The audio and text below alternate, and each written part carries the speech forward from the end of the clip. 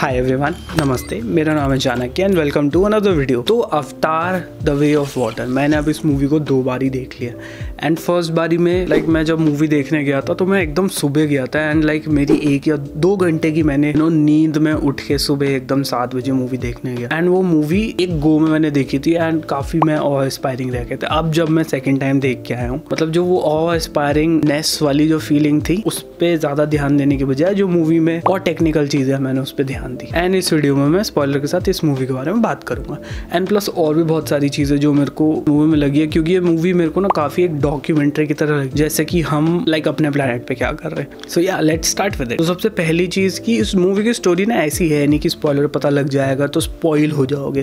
क्योंकि ये मूवी इतना तगड़ा थिएट्रिकल एक्सपीरियंस है, इतना तगड़ा थिएट्रिकल एक्सपीरियंस है, इतना तगड़ा थिएट्रिकल एक्सपीरियंस है कि सेकेंड टाइम भी मेरा दिमाग ऐसे फट गया। मैं देख ही जा रहा हूँ, देख ही जा रहा हूँ। और जो फीलिंग ये इवोक करती है आपके अंदर like that is just really really mind blowing क्योंकि इस मूवी के अंदर ना एकदम परफेक्ट सी है, एकदम परफेक्ट स्टोरी टेलिंग है. एंड सारा का सारा कुछ ना, वो आपको कभी ऐसा फील ही नहीं कराएगी कि आप कोई एलियन मूवी ऐसे देख रहे हो। मतलब स्टोरी में एकदम एनग्रॉस्ड ही हो जाओगे। तो मैं स्पॉयलर के साथ बात करूँ तो अब जो इसमें जेक सली है, अब वो टुरुक मकटू था फॉरेस्ट के अंदर और फॉरेस्ट छोड़ के अब वॉट ट्राइब वाले लोगों के पास आ गया एंड जो अर्थ पीपल थे, उन्होंने अपना प्लानट अब तबाह कर ही दिया है। एंड अब वो यहाँ पेंडोरा पे आके सेटल होना चाह और जो कर्नल था, वो अब एक नावी वाली बॉडी में एंड अब वो जेक सली से खुद नावी बन के लड़ाई। तो ये वाली जो मूवी है ना फ़र्स्ट वाली मूवी तो इस पूरे वर्ल्ड के इंट्रोडक्शन और स्टोरी कैसे है क्या है वो सारी चीज़ों के अंदर थी। ये वाली मूवी अब जेक सली और कर्नल के बीच की लड़ाई। ठीक है ना? पहली वाली मूवी मैन वर्सेस नेचर तो थी ये भी मैन वर्सेस नेचर पर इसमें और पर्सनल टच आ गया और डेप्थ आ गई है। ये जेक सली और कर्नल की लड़ाई है। जेक सली की ट्राइब और कर्नल की ट्राइब ऐसे इसके अंदर सीन हो गया। एंड जो जेक सली के बच्चे उन्होंने काफ़ी तगड़ा इसमें रोल प्ले किया इस मूवी के अंदर। जैसे कि अब जेक सली के चार बच्चे हैं। सबसे छोटा बच्चा जो है, उसका नाम है टुक फिर कीरी जो डॉक्टर थी, वो उसकी ऑफ़ स्प्रिंग है। And like nobody knows who is Kiri's father and like she is different from the others and she can plug in to the planet and can control the planet फिर Jake Sully के जो दो बेटे हैं, एक नटेम and लोआक नटेयम तो मर जाता है इस मूवी के अंदर। एंड लोआक बच जाता है। अब लोआक टुलकुन से दोस्ती कर लेता है, जो कि काफ़ी एक बड़ी बात है कि आप एक काफ़ी लेजेंडरी एनिमल से दोस्ती कर लेते तो वो आपका एक तरह से आपकी ट्राइब में स्टेटस बढ़ा देता है, आपकी इज़्ज़त बढ़ा। तो ये है। एंड फिर जो जेक सली की बीवी है नेटेरी उनका काफ़ी बैक रोल ही रहा है, इतना ज़्यादा she is not being in front and फिर देन जो कर्नल है, कर्नल का काफ़ी इंटरेस्टिंग इसके अंदर रोल रहा है, क्योंकि कर्नल जब यहाँ पे था तो उसका बेटा था, जिसका नाम है स्पाइडर इस मूवी के अंदर। एंड वो उसको माइल्स बुलाता है तो वो यहाँ रह गया था। कर्नल उसको ले जाता है स्टार्टिंग के अंदर। वो इन बच्चों को पकड़ लेते हैं उसमें से स्पाइडर को ले जाता है। बाकी जेक सली की जो फैमिली है जेक सली उनको लिया। तो वो स्पाइडर इनके साथ जब तक रहता है और फिर एंड के अंदर जो लड़ाई होती है जिसमें कर्नल डूब जाता है पर लेकिन स्पाइडर उसको बचा लेता है। And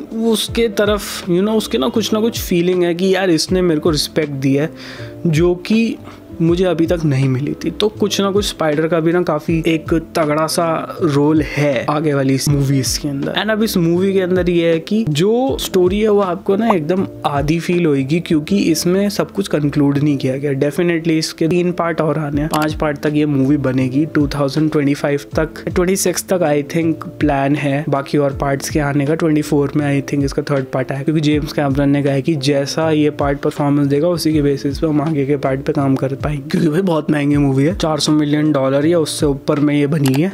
And it has to get the return and अभी तक लाइक दो हफ़्ते के अंदर 900 मिलियन डॉलर तो मूवी ने कमा भी लिया तो काफ़ी अच्छी परफॉर्मेंस हो गई है दो हफ़्ते के अंदर एनी तो जेक सली का क्या है कि अब मूवी के एंड में वो भगा तो देता है कर्नल और बाकी लोगों को, पर लेकिन ये एक छोटी सी बैटल है जो उन्होंने यू नो इंसानों के साथ लड़ी है।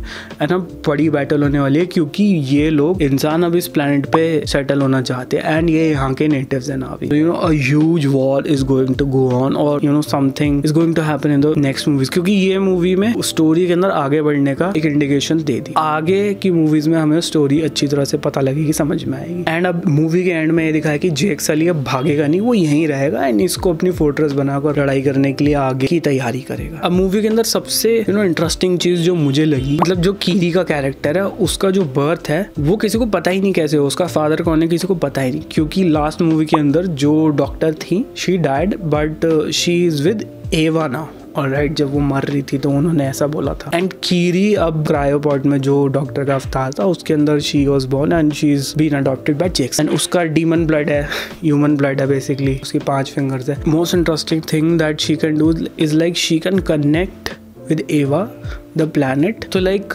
Kiri is, you know, able to go in trance or listen to Eva more properly and get connected with her. Even वो अपना मतलब जो उनका लो वाला नर्व एक्सटेंशन होता है, उससे वो प्लांट्स के अंदर प्लग इन करके उनको कंट्रोल कर पाती है।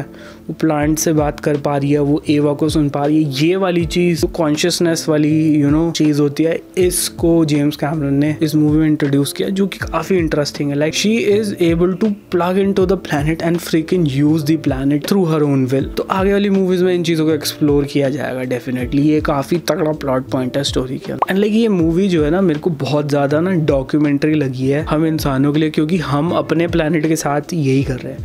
जेम्स कैमरन जो है बहुत तगड़े नेचर लवर है एंड जो इंडिजिनस लोग हैं, जो हम शहर के लोग हैं, जो भी कैपिटलिस्ट लोग हैं, वो ऐसे उनको जंगलों से बाहर निकाल रहे हैं, वहाँ पे अपने इंडस्ट्री और ये खड़ी करने की कोशिश कर रहे हैं। तो यही सारी चीज़ें इस स्टोरी के थ्रू हमको James Cameron and everyone involve in the story is trying to tell की what we are doing with our own planet movie में एक सीन आता है जिसमें वो वेल की टुलकुन की हंटिंग कर रहे होते हैं एंड जब टुलकुन जो पाया खान होता है, वो वापस उसको मारता है। पीपल वो रूटिंग वो, ये, मार दिया बंदे को। एक पाया खान जब उसको रस्सी में फंसा लेता। जिस इज़ लाइक अब जैसे हमारे प्लानट पर जो इंडिजिनस लोग हैं, वो भी ऐसे ही रहते हैं एंड हम शहर में जो रहने वाले लोग हैं, हम डिस्कनेक्टेड है प्लानट से डिस्कनेक्टेड है इमोशन से। तो हम क्या कहते हैं, अपना गाड़ी में घूम रहे हैं, खा रहे पी रहे पर हम प्लानट के रिसोर्सेज ऐसे तबाह कर रहे हैं। एंड जो इंडिजिनस लोग हैं, वो प्लानट के साथ मिलकर रह रहे हैं they are trying to protect तो ये वाला जो हसल टसल असली में हमारी दुनिया में हो रहा है, इस मूवी के through trying to tell us you know wake up and see around you क्योंकि हम लोग भी यही कर रहे हैं, हमें इसे रोकना पड़ेगा, हमको नेचर के साथ बैलेंस में रहना है। एंड आगे के जो मूवी के पार्ट्स आएँगे, उसमें इन्हीं चीज़ों को एक्सप्लोर किया जाएगा और कुछ ना कुछ ऐसा और तगड़ा मैसेज दिया जाएगा what I believe so yeah guys this is it for this video this was my spoiler talk and some other points which I notice in Avatar the way of water so thank you so much for watching. Like the video, subscribe to my channel, comment down below the video if you like it as well. Peace. Bye bye take care. See you in the next one.